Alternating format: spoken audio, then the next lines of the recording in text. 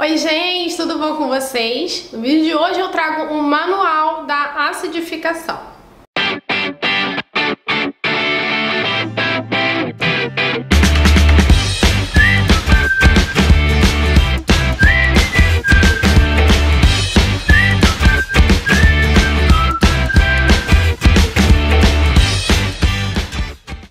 Pessoal, acidificar o cabelo é um tipo de tratamento aí que muitas meninas de cabelo poroso, com bastante porosidade, principalmente cabelos que são descoloridos, tingidos, cabelos mais crespos, costumam utilizar, tá?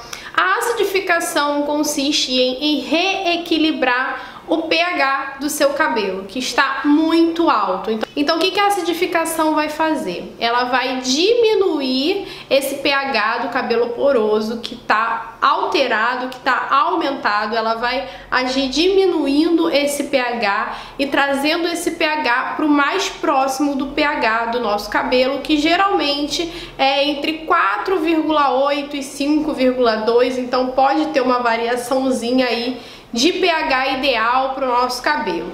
Geralmente, para acidificar o cabelo, a gente utiliza algum componente que tenha o pH bem baixo, porque esse pH vai interagir com o pH do nosso fio e reequilibrá-lo, tá?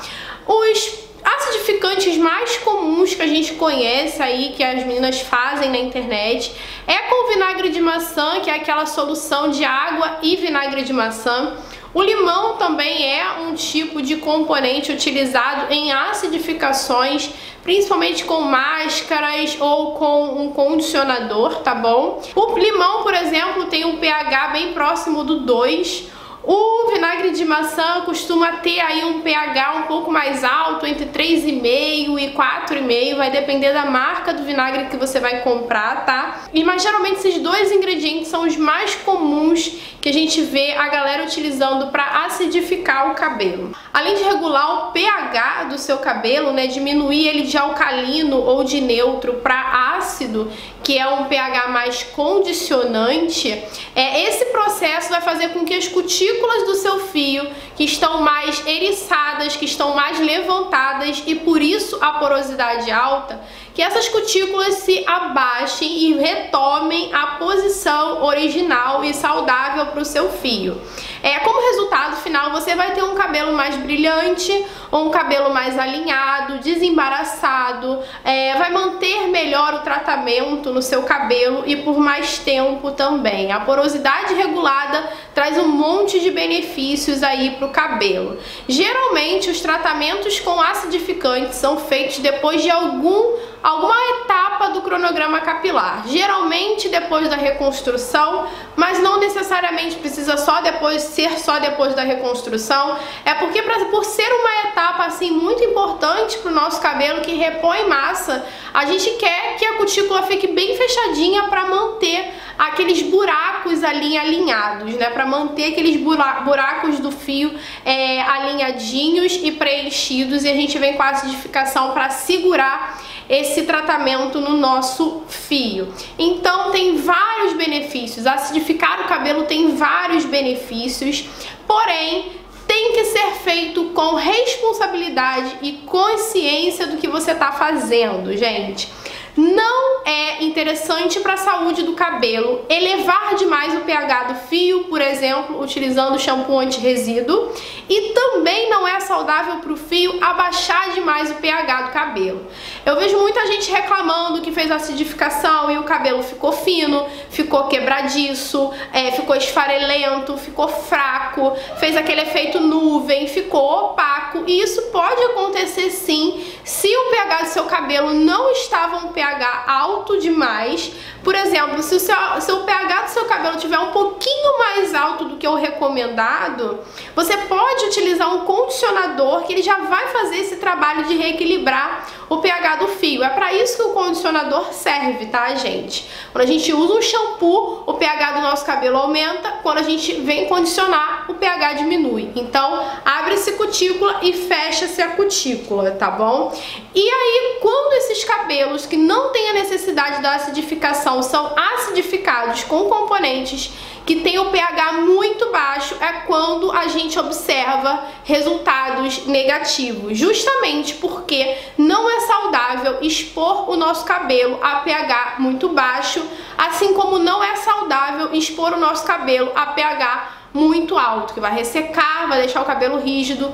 Nenhuma das duas opções é interessante. Então você precisa primeiro avaliar o seu cabelo. Não sou eu que vou dizer para você se o seu cabelo está muito poroso ou pouco poroso. Você tem que avaliar o seu cabelo ou ir a um profissional para avaliar o seu cabelo e verificar qual é o grau de porosidade que o seu cabelo está passando para que você possa fazer essa acidificação. Geralmente, por via de regra, não é todo mundo, mas em grande maioria, as meninas e os meninos que fazem descoloração no cabelo ou tintura ou as duas coisas costumam ter o pH do cabelo mais alto porque a descoloração altera aí a posição das cutículas do fio, deixando o cabelo um pouco mais poroso, tá? Então, geralmente essas pessoas costumam se adaptar melhor à acidificação. Porém, existem cabelos porosos que são porosos de natureza e existem cabelos porosos que são porosos quimicamente. Passaram por algum processo químico que deixaram o cabelo com a porosidade alta.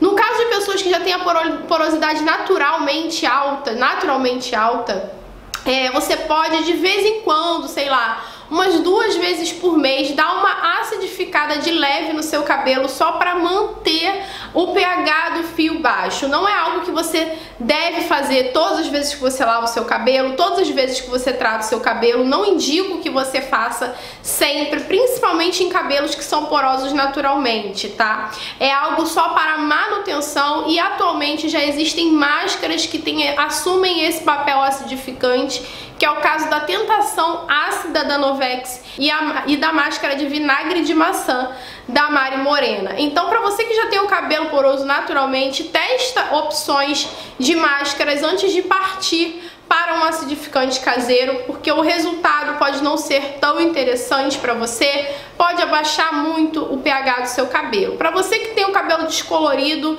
faça o teste de mecha antes de fazer a acidificação. Se você tem o cabelo descolorido, tingido, isso em qualquer cabelo, gente, seja descolorido, seja natural, se ele é poroso, você quer fazer acidificação, faz o teste de mecha antes para não te dar problema, tá? Para não te dar nenhuma reação, para você verificar se o seu cabelo realmente vai reagir positivamente àquela acidificação e aquele tratamento. Eu considero a acidificação uma etapa do cronograma capilar, porque sim, eu vejo a acidificação como um tratamento, ele tá mantendo a saúde do seu cabelo, tá? Mas é um tratamento tratamento que deve ser usado com parcimônia e por pessoas que realmente precisam desse tipo de tratamento. Por exemplo, eu tenho cabelo com porosidade baixa, todo mundo já sabe, já contei pra vocês várias vezes. É uma porosidade de normal a baixa, depende aí de em que época eu esteja do meu cabelo, tá? Então eu nunca faço acidificação no meu cabelo. Eu já fiz anteriormente, no passado, quando eu tava passando por processo de scab hair, eu fazia a acidificação regularmente no meu cabelo e dava certo em algumas vezes, em outras vezes não dava certo era justamente no período que eu não precisava e que eu ia fazer só para cumprir o protocolo do cronograma capilar, tá? Então, é, se você tem a porosidade normal abaixa, não precisa fazer, não há necessidade de fazer. E fazer pode, por exemplo, te dar um efeito contrário ao que você quer e ao que você precisa e ao que seu cabelo precisa.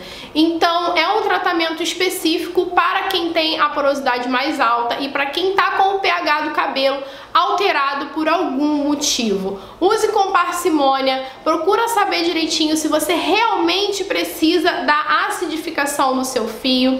Veja todas as características que eu falei aqui sobre porosidade capilar. É, tem todo um processo, faz o teste de mecha no seu cabelo. A acidificação não é brincadeira e um dos motivos de eu trazer esse manual é justamente para você entender que é um tratamento que deve ser levado a sério e que deve ser usado com cuidado para não danificar o seu fio. Assim como tudo que a gente faz, principalmente receita caseira, a gente precisa tomar cuidado para não dar o efeito contrário ao que a gente espera do nosso cabelo, principalmente quando estamos envolvendo pH do fio e porosidade, já que é algo assim crucial para o nosso cabelo permanecer bonito, permanecer saudável, para gente, que a gente consiga ter um cabelo saudável, um fio saudável, com tudo em dia, tudo alinhadinho, tá bom? E é isso, gente, é mais ou menos isso que eu tinha pra falar pra vocês sobre acidificação. Eu espero que vocês tenham gostado desse vídeo, que tenha ficado bem completinho, bem fácil de vocês entenderem, tá bom? Se você gostou desse vídeo, não esquece de deixar um like pra mim, de comentar aqui embaixo e compartilhar com as suas amigas, tá bom? Isso ajuda muito o crescimento do canal. Um super beijo e até o próximo. Tchau!